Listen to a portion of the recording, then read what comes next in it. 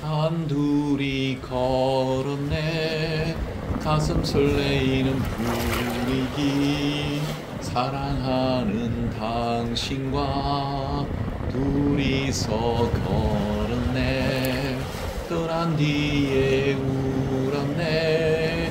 모든 것이 끝났네. 정말로 끝인가? 하지만 알았네.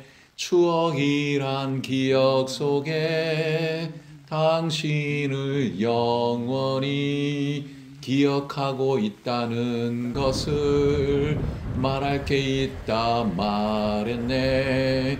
기다려달라 말했네. 당신은 기다려줄 걸 알고 있었다고 말했네. 기다림은 아름다워서 가슴 설레이고 또 설레이네 그리움이 간절하면 동화 같은 꿈속이 현실로 이루어지네